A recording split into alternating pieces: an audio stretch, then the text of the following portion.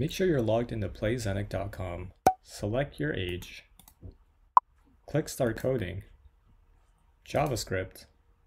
And here you can follow along with all our examples and code along with us. Paul from TechZenik here. And in this lesson, we'll be learning about logical operators. Logical operators are used to include multiple conditions in a conditional statement. So if we want to compare two or more conditions and return one Boolean value, we use logical operators. In this example, I've already created three variables. The temperature, set at 25 degrees, raining is set to true, and if we can go outside or not, set to an empty string. The first logical operator is AND. To write AND, we use two ampersands.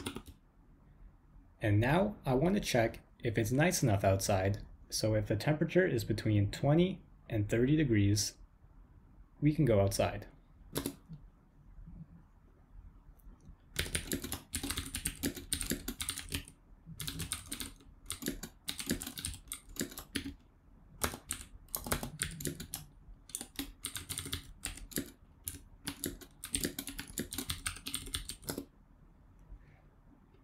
So now I'm going to use our can we go outside variable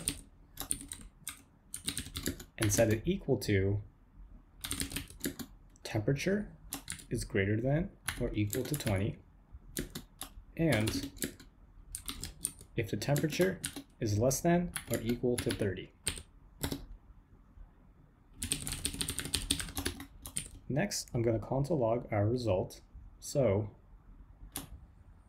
is is the temperature between 20 and 30.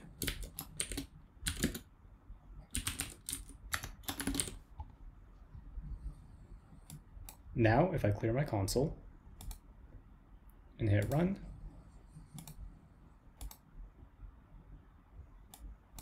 we get true, since our temperature is 25 degrees and is both greater than or equal to 20 and less than or equal to 30. Next is the OR operator.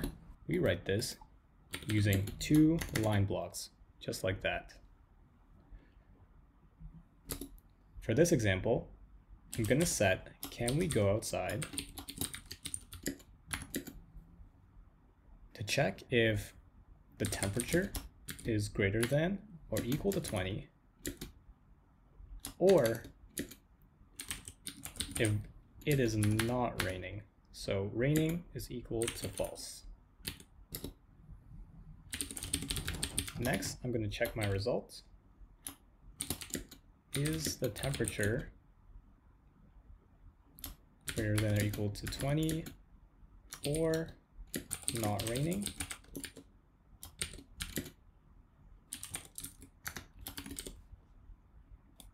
Now, if I clear my console, and run the code, we also get true. Since our temperature is above 20, since it's set to 25, but raining is true. However, OR operators only check if one condition is true to return true. It will only return false if all conditions are false. The next operator is the not operator. We use exclamation mark if we want to use the not operator.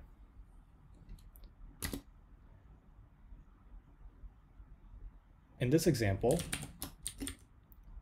I'm going to set can we go outside again to check if it's not raining. To do this, I'm going to write not in front of raining. And now I'm going to console log my results. If it's not raining, we can go outside. Then call the can we go outside variable. Now if I clear my console and run my code,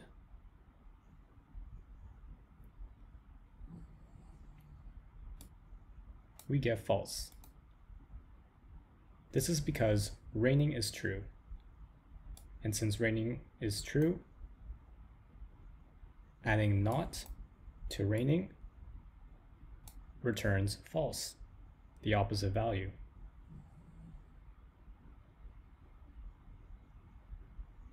Thank you for listening. See you in the next lesson.